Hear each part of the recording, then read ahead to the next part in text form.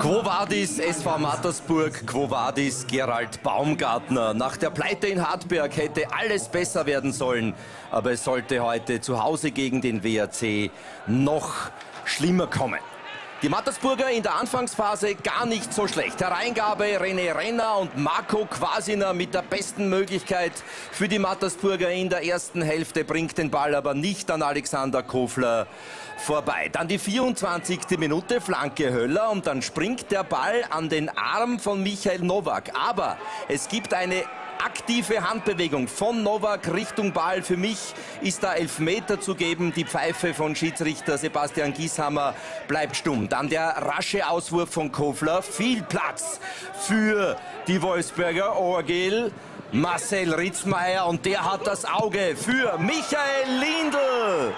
Markus Kuster streckt sich, kann den Ball berühren, aber nicht mehr entscheidend abwehren. Der erste Treffer von Lindl seit seiner Rückkehr nach Österreich. Guter Schuss.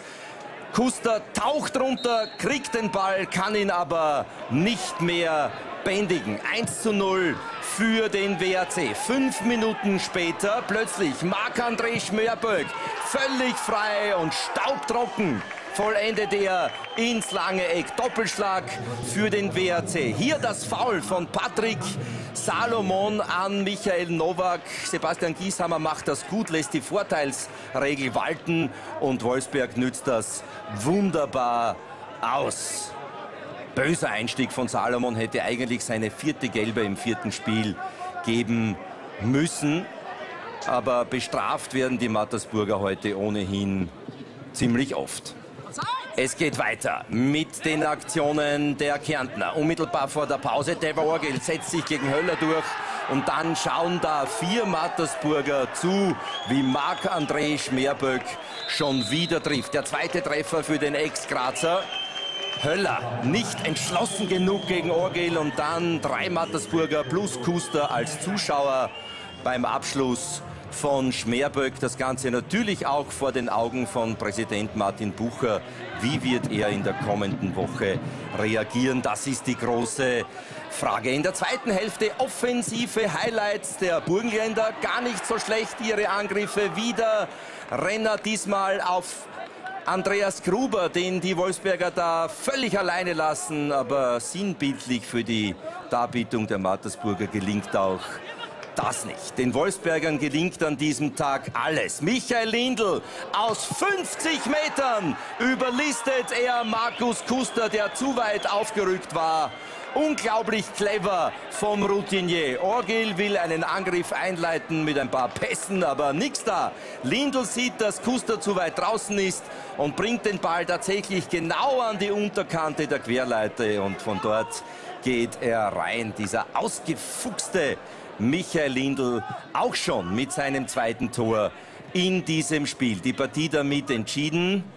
Hart mit der Flanke auf Thorsten Mara und Alexander Kofler mit einer Prachtparade. Auch defensiv gelingt bei den Wolfsbergern heute eigentlich alles. Tolle Aktion von Alexander Kofler.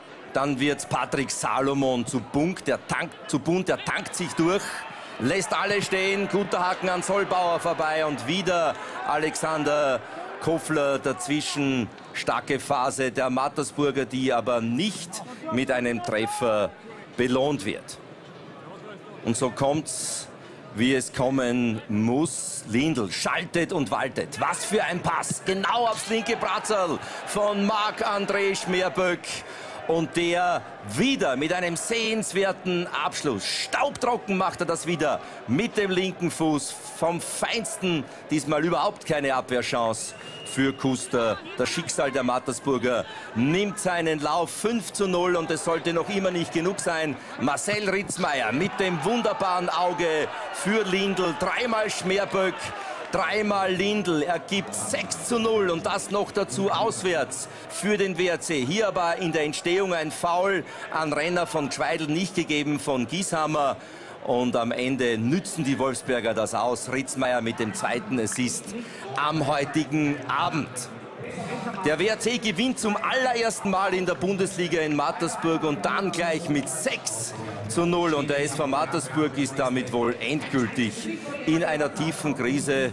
Wäre schön zu wissen, was Gerald Baumgartner, der Christian Itzer, geflüstert hat. Konstanze Weiß mit den Interviews.